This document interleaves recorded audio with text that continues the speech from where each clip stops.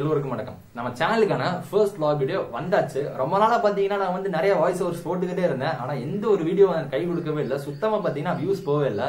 அதனால நம்ம சேனலை கொஞ்சம் மாத்தலாம் கொஞ்சம் டூ பாயிண்ட் ஓ மாத்தலாம் அப்படின்னு சொல்லிட்டு மங்களகரமா ஃபர்ஸ்ட் டைமா ஒரு லாக் வீடியோ பண்ணியிருக்கோம் அதுவும் நம்ம லெஜெண்டரி நம்ம ஹிஸ்டாரிக்கல் தஞ்சை பெரியர்கள் போய் லாக் பண்ணியிருக்கிறோம். வீடியோ ரொம்பவே இன்ட்ரெஸ்டிங்கா இருக்க போது இனிமே பாத்தீங்கன்னா நம்ம சேனல்ல வந்து vlog வரப்போகுது டெக் ரிவ்யூ வரப்போகுது ஃபுட் ரிவ்யூ வரப்போகுது அப்படின்னு சொல்லிட்டு எக்கச்சக்கமான கண்டென்ட்ஸ் யூஸ் பண்ண போறோம். ஸோ புது சப்ஸ்கிரைபர்ஸ் யாராவது வந்திருக்கீங்க அப்படின்னா நீங்க நம்ம சேனலுக்கு சப்ஸ்கிரைப் பண்ணிக்கோங்க. அண்ட் இந்த வீடியோட கேப்ஷன் என்னன்னு பாத்தீங்கன்னா இந்த வீடியோ வந்து ரொம்பவே இன்ட்ரெஸ்டிங்கா இருக்க போது அதாவது யாரும் பண்ணாத ஒரு விஷயத்த இந்த வீடியோ நம்ம பண்ணியிருக்கிறோம். கோயிலோட கருவறை வீடியோ எடுத்துக்கிறேன் அதாவது உள்ள பாத்தீங்கன்னா போட்டோஸ் எடுக்கவோ வீடியோஸ் எடுக்கவோ அலவுட் கிடையாது. ஆனா நம்ம சப்ஸ்கிரைபருக்காக நான் ரிஸ்க் எடுத்து இந்த விஷயத்த பண்ணிருக்கிறேன் ஸோ வீடியோ ஸ்கிப் பண்ணாம ஃபுல்லா பாருங்க. அண்ட் நீங்க நம்ம சேனலுக்கு நான் சப்ஸ்கிரைப் பண்ணாம இருந்தீங்கன்னா சப்ஸ்கிரைப் பண்ணிக்கோங்க. இப்போ வாங்க ஒரு குட்டி இன்ட்ரோவோட இந்த வீடியோ ஸ்டார்ட் பண்ணலாம்.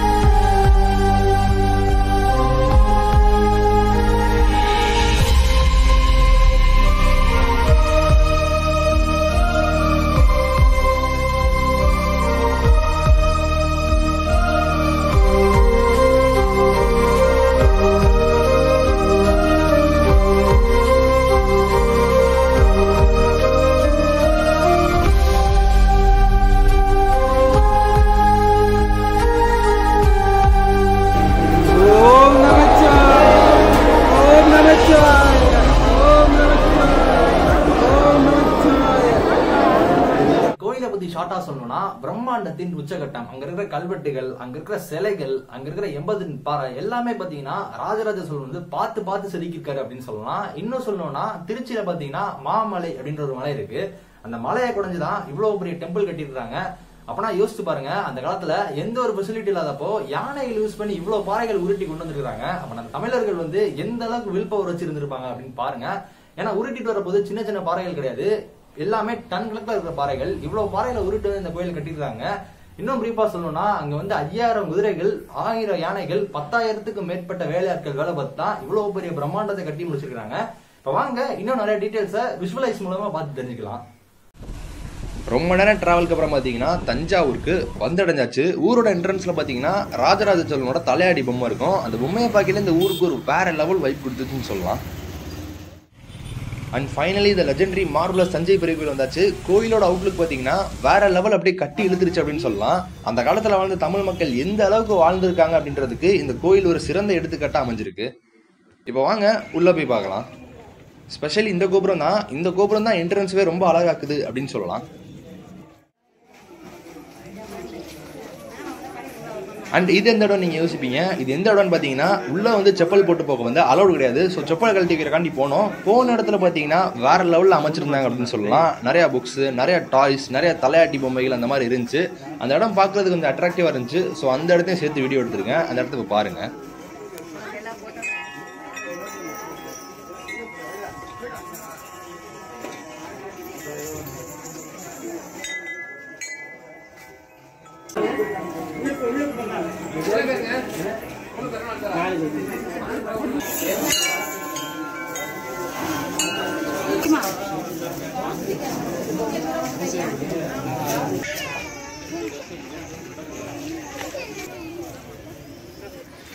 இப்போ நம்ம கோயிலோட ரெண்டாவது நுழைவாயிலில் இருக்கோம். எந்த அளவுக்கு நீட்டாக க்ளீனாக வச்சுருக்காங்க அப்படின்னு பாருங்கள்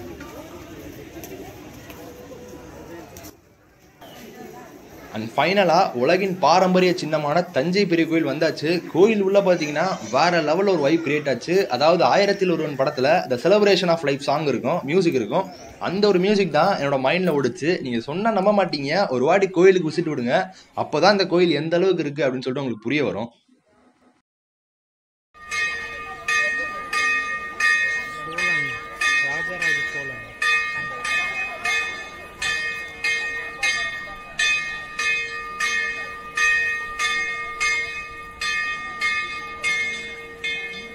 உள்ளே போனேன்னா எனக்கு கையும் ஓடல காலும் ஓடல. ஏன்னா கோயில் ரொம்ப பெருசாக இருந்துச்சு. எதை போய் vlog பண்ணுறது எங்கே போய் vlog பண்ணுறதுன்னு ஒன்றுமே ஐடியா இல்லை. அந்த இடத்துல கொஞ்ச நேரத்துக்கு பார்த்தீங்கன்னா என்ன பண்ணுறதுனே தெரியாமல் அப்படியே தகச்சு போய் நின்றுட்டேன் அப்படின்னு சொல்லலாம்.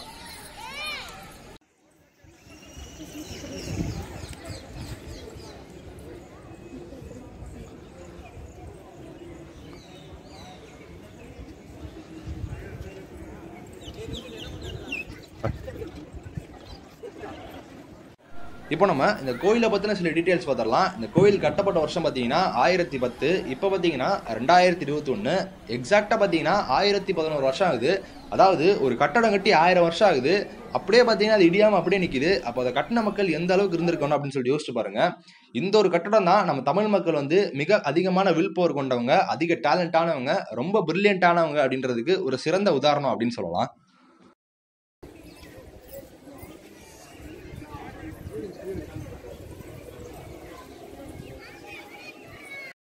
அண்ட் இந்த கோயிலுக்கான பாறைகள்லாம் எங்கே எடுத்திருப்பாங்கன்னு பார்த்தீங்கன்னா திருச்சியில் அந்த காலத்தில் மாமலை அப்படின்ற ஒரு மிகப்பெரிய மலை இருக்குது அந்த மலையை குடைஞ்சு தான் இவ்வளோ பெரிய பிரம்மாண்டத்தை கட்டி முடிச்சிருக்கிறாங்க.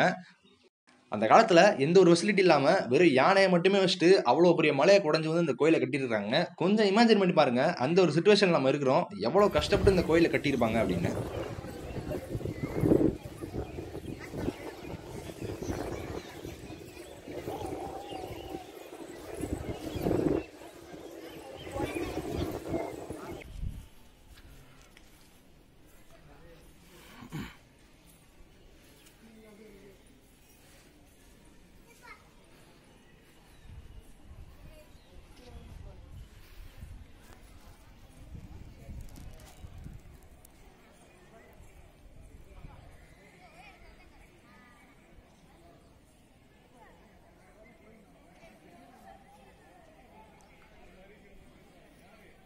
அண்ட் இந்த கோயிலோட கோபுரத்துலேருந்து நந்தியடை டிஸ்டன்ஸ் பார்த்தீங்கன்னா இரநூத்தி நாற்பத்தேழு அடி. இது எதை கேல்குலேட் பண்ணி பண்ணிருக்காங்கன்னா தமிழில் இருக்கிற எழுத்துக்கள். அண்ட் இந்த கோபுரத்தோட ஹைட்டு பார்த்தீங்கன்னா இரநூத்தி பதினாறு அடி. இதை எதை கேல்குலேட் பண்ணி பண்ணிருக்காங்கன்னா தமிழோட உயிர்மை எழுத்துக்கள்.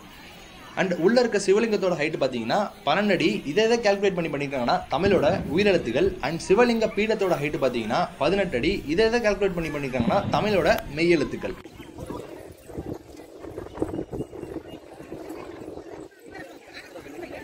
அண்ட் இதுல இருந்து என்ன தெரிய வருதுன்னா இந்த கோயில் வந்து தமிழ் மொழிக்கு அதிகமான இம்பார்ட்டன்ஸ் கொடுத்துருக்காங்க அப்படின்னு தெரிய வருது.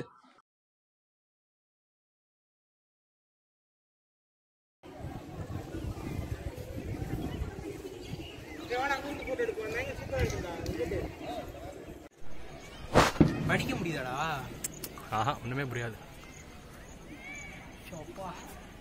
இன்னும் நிற்கிது பாடுறா ஆயிரம் வருஷம் இருந்தாங்க அண்ட் இந்த கல்வெட்டுகள்லாம் பதிச்சு ஆயிரம் வருஷம் ஆகுது. இது என்ன மாதிரியான கல்வெட்டுன்னு பார்த்தீங்கன்னா அந்த கோயில் கட்டும்போது அந்த கோயிலுக்கு நன்கொடை கொடுத்தவங்க அந்த கோயில் கட்டுறது உதவி பண்ணவங்க எல்லாரோட பேரும் பார்த்தீங்கன்னா இந்த கோயிலில் வந்து கல்வெட்டுகளாக பதிக்கப்பட்டிருக்கு.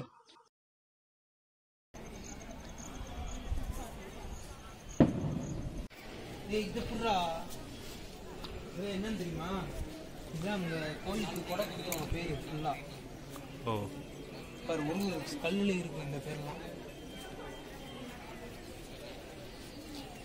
பாரு இங்க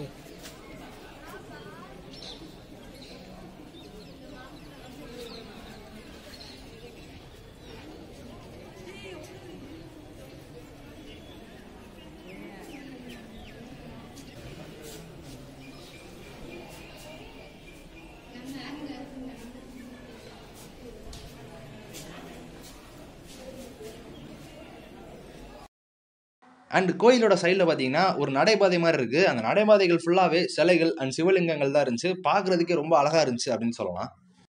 அதோட சேர்த்து நிறைய பெயிண்டிங்ஸும் பண்ணியிருந்தாங்க. அந்த பெயிண்டிங்ஸ் பார்த்தீங்கன்னா அந்த கோயிலுக்கு இன்னும் அழகு சேர்க்குது அப்படின்னு சொல்லலாம். அந்த பெயிண்டிங்ஸ் எல்லாமே ஆயிரம் வருஷத்துக்கு முன்னாடி பண்ணது. லைட்டாக தான் ஃபேட் ஆயிருக்கு. நடந்து போற ஸ்பீட் ஸ்டார்டிங்கில் பார்த்தீங்கன்னா தஞ்சை பெரிய கோயிலோட கோபுரம் வந்து ஓப்பனில் தான் இருந்திருக்கு. இதனால் பார்த்தீங்கன்னா சிவலிங்கத்தில் இருந்து எமிட் ஆகிற குட் வேவ்ஸ் பாசிட்டிவ் வேவ்ஸ்லாம் வேஸ்ட்டாக வெளியே போகுது அப்படின்னு சொல்லிட்டு மிகப்பெரிய பாறையான எண்பது டன் பாறையை தூக்கி மேலே வச்சு அடைச்சிருக்காரு நம்ம ராஜராஜ சோழன். இதுதான் முக்கியமான காரணம் அப்படின்னு சொல்கிறாங்க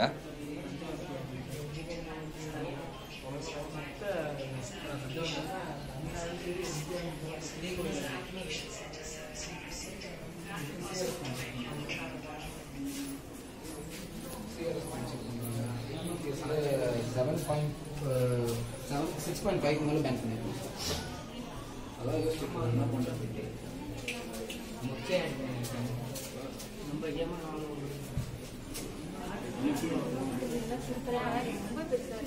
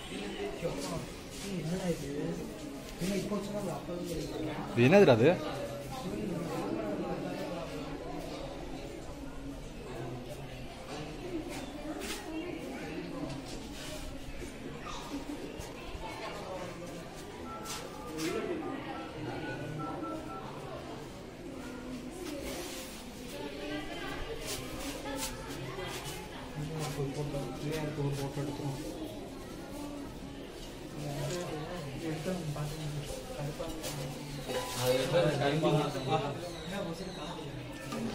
இது தொட்டு பார்க்கணும் எனக்கு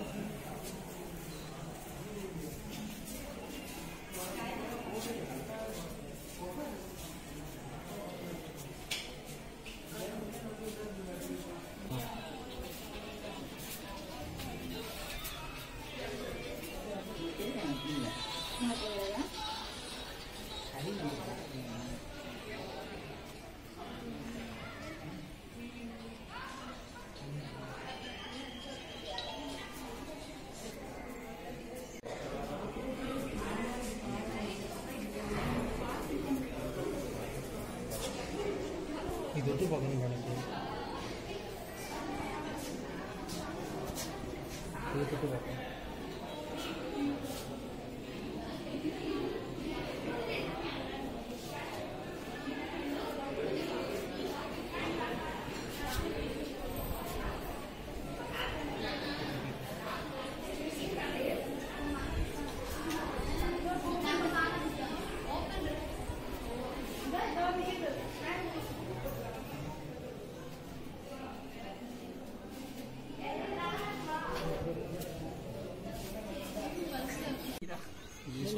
கேணிலே சுரங்க பாதை போகுது பாதை உள்ள போகுது பாதை உள்ள ஆமா இந்த ரோடு போகுது இந்த ரோடு போகுது கிட்ட தேன் கூட போடுறாங்கண்ணா. என்ன போடுறான் முன்னாடியே ஒரே அடி. இதை பார்க்கறதுக்கு இனிஷியலாக வந்து எனக்கு ஒரு கிணறு மாதிரி தான் ஃபீல் இருந்துச்சு ஆனால் கிணறு கிடையாது. அண்ட் உள்ளே இருக்கிறது குப்பையும் கிடையாது. மக்களால் போடப்பட்ட காசுகள். நீங்கள் லைட்டாக தலையை விலகி சைடில் பார்த்தீங்கன்னா உள்ள ஒரு சுரங்கம் தெரியும். அதாவது ராஜாக்கள் அந்த காலத்தில் கோயிலுக்கும் அரண்மனைக்கு வரக்காக யூஸ் பண்ணிக்கிட்ட சுரங்கம் அப்படின்னு சொல்கிறாங்க இதை. நல்லா சுற்றி தெரிஞ்சனால பார்த்தீங்கன்னா முக்கியமான ஒரு விஷயத்தை விட்டாச்சு. மணி பார்த்தீங்கன்னா ரெண்டாயிருச்சு. ஸோ கோயிலோட கருவறை சாத்திட்டாங்க. நாலு மணிக்கு தான் திறப்பாங்க அப்படின்னு சொல்லிட்டாங்க. ஸோ நான் அந்த டூ ஹவர்ஸ் கேப்பில் பார்த்தீங்கன்னா நல்லா சாப்பிட்டு செட்டில் ஆகி கருவறைக்காக வெயிட் பண்ணிட்டு இருந்தோம். அதாவது கருவறை திறக்கிறதுக்காக வெயிட் பண்ணிட்டு இருந்தோம். ஏன்னா போனதே அதுக்காக தான்.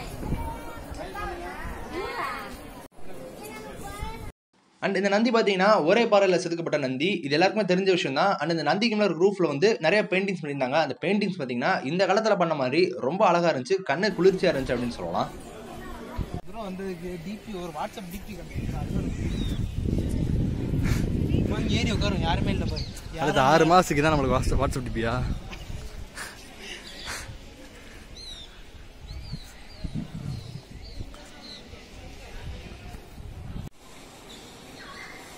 இதை பார்த்தீங்கன்னா உங்களுக்கே தெரியும். கோயிலோட எல்லா கருவறையும் சாத்திட்டாங்க. நாலு மணிக்கு தான் திறப்பாங்க அப்படின்னு சொல்லிட்டாங்க. ஸோ இங்கேயே நாங்கள் வெயிட் பண்ணி சாப்பிட்டு ரெடியாக உட்காந்துருந்தோம் நாலு மணி ஆறு வரைக்கும். சரி கூப்பிடு. வாசல்லே பார்த்தீங்கன்னா நிறைய பேர் வெயிட் பண்ணிட்டு இருந்தாங்க. இந்த மாதிரி கருவறை திறக்கிறாங்க உட்காந்துருந்தாங்க ஒன்ஸ் அவங்க திறக்க விட்டி பார்த்தீங்கன்னா எல்லாரும் ஓடி வர ஆரம்பிச்சிட்டாங்க. அவ்வளோ கூட்டம் வந்து கருவறை முன்னாடி இருந்துச்சு.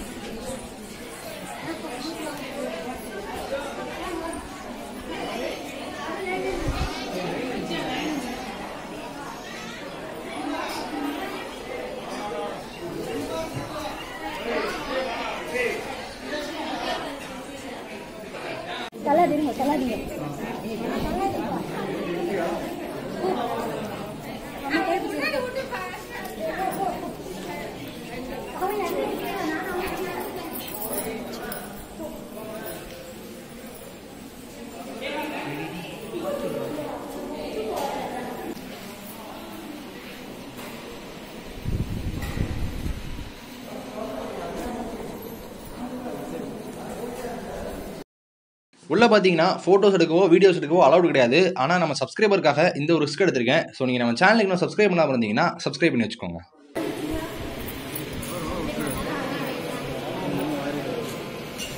ராஜராஜ